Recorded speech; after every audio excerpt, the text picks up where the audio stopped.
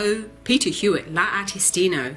I've got another colouring book review for you today. This one is a book by a Czech Republic artist and jewellery maker, Klara Markova, and it's called, now I don't think I'll try and pronounce this one because I'm not really sure about it, I'm probably going to butcher it like crazy, but it translates in English as Magical Delights. This book was a self published book by Klara. It's available on Amazon UK and also through her own Etsy site under the name of Elfie74, and I'll leave those links down in the notes below.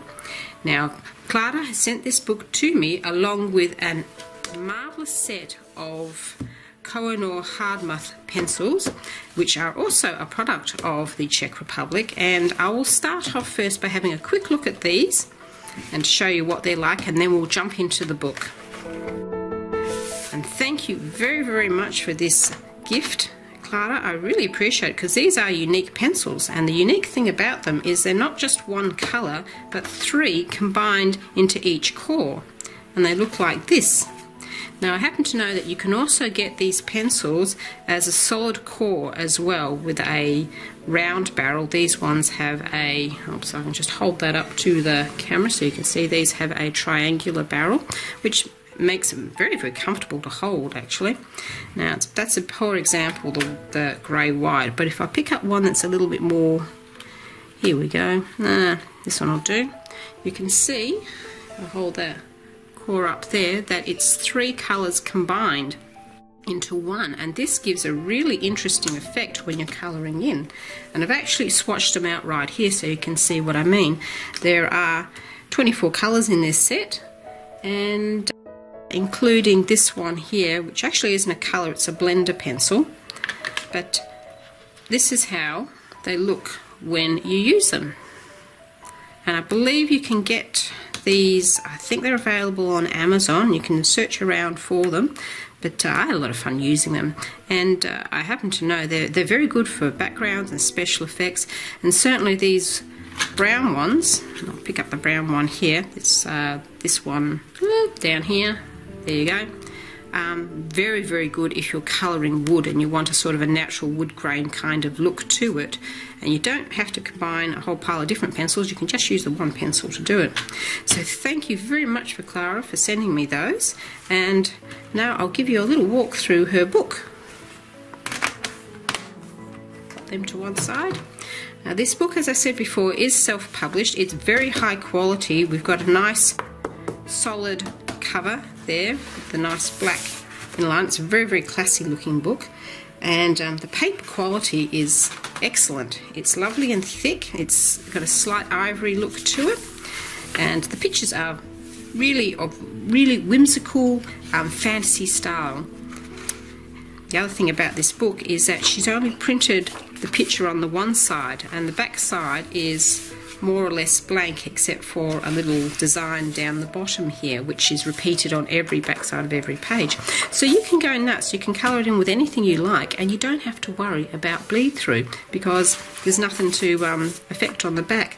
And But I do of course recommend that you put a sheet of paper like this one in between page you're working on and the next page to protect it. Maybe two or three sheets if you're a bit heavy handed as well. Now we'll have a wander through this book. Lovely little penmanship. It's very whimsical. Lots of sort of fairy, sort of foresty, flowery themes. Some cute little whimsical characters.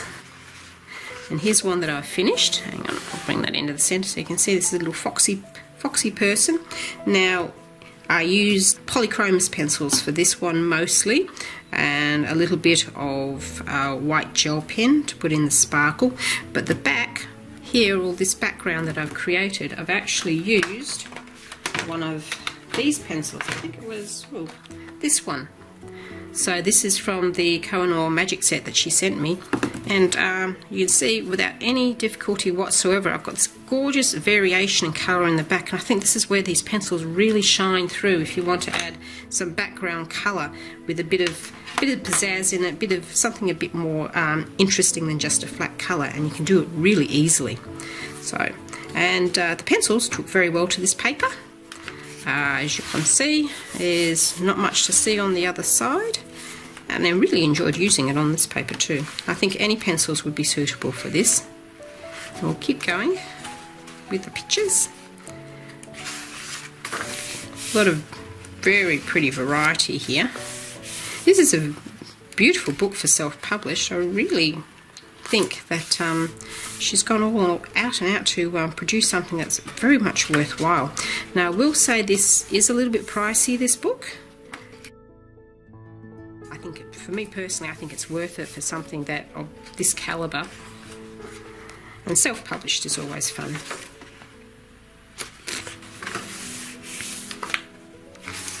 Keep going. I've seen some beautiful examples of coloured pictures from this book too very it lends itself a lot to experimentation a lot of playful use of colour now I think I've tried a little bit of Inktense in this book and some paint and uh, uh, this isn't watercolour paper as um, you know watercolour paper has been uh, sealed in a particular way to make sure that uh, it takes the watercolour well. But uh, you can still get away with it on this paper if you don't mind a little bit of wrinkling. And the, a lot of the wrinkling will flatten out when you store the book. Mm -hmm. I wouldn't get too um, enthusiastic by how much water you use in it though this is rather cute I can imagine doing this background very dark here for a nightscape probably sort of dark blacky purple colour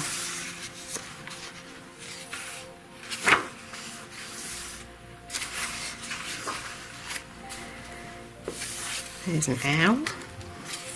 There's a little bit of show through with the pr printing ink, but um, I wouldn't be too worried about it because you're not using the back anyway. Here's another picture that I've done, and this is a strawberry fairy. So I've coloured in all sort of strawberry colours. The background with this one I've actually done with a cheap um, pastel and rubbed it in to give it that little gradiated effect to make it lighter in the centre and, and sort of the darker colour around the outside. And I just did that by powdering the um, pastel and then rubbing it in with my fingers.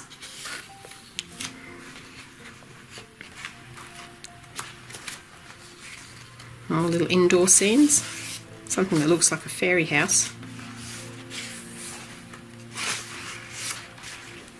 This is very cute.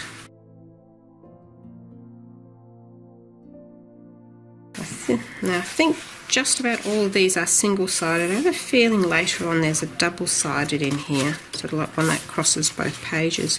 But if you just like to work on one, one side, it's good. It's a bit quicker. And as I said, you can have a lot of fun with this. Oh, that's cute. I like that the dragonfly. little fairies are naked. Oh no, there's one wearing a dress.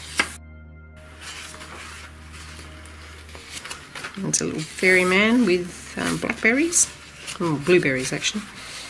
Okay, right, here we go. This one looks like the beginning of a double page spread. So keeping in the theme, she's left this page so that it doesn't matter whether it, it bleeds through or not. And if you turn the page, here is your, your double page spread. And then back to the single pages. Again, a little mouse in a house. They're rather cute. This book makes me smile a lot. Just, I love the loose drawing style as well.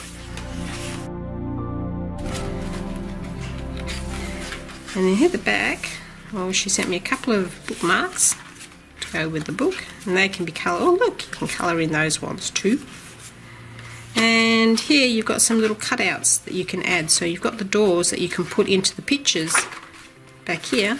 I think there's certain pages with doors so that you can have little doors to open up and see the, um, the characters inside, which is absolutely gorgeous. She even got so that those two there, they they belong to. Whoops, I'll go back to the double page spread, which is I'll find it that one there. So, in other words, that door you attached this little hanging structure here, and the same with this door to here. So that's that's a cute little idea, isn't it? I like that. I'm gonna have to do that. Anyway, and that's the end of the book. There you go. I hope you've enjoyed this review of Magical Delights. Um, I'll leave the links below for where you can get that from. And thank you again very much, Klara, for sending me the uh, pencils as well. They're, they are, I highly recommend, they are a lot of fun. Lots of fun. And that's it for this review. I hope that you enjoy all the colouring adventures you're currently on, and until next time, happy colouring!